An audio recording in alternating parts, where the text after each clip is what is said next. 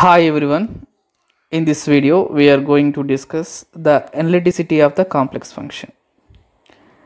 Determine whether the complex function 2xy plus the imaginary unit i times of x square negative y square is analytic or not. To verify whether the function is analytic or not, rely on Cauchy-Riemann conditions.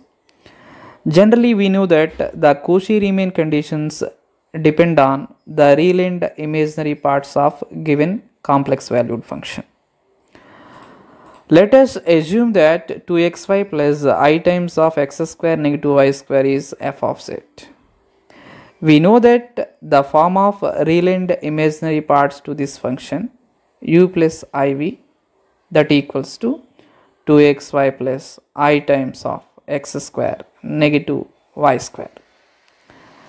By comparison, we have the real part u 2xy, the imaginary part v equals to x square negative y square.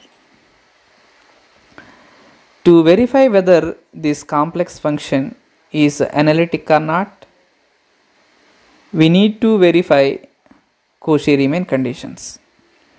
Cauchy-Riemann conditions nothing but dou u by dou x equals to dou v by dou y and dou u by dou y equals to negative dou v by dou x. For this, we consider dou u by dou x. That is 2y since y is treated constant x derivative with respect to x1 dou v by dou x x square derivative 2x negative y square derivative 0 since y is treated constant.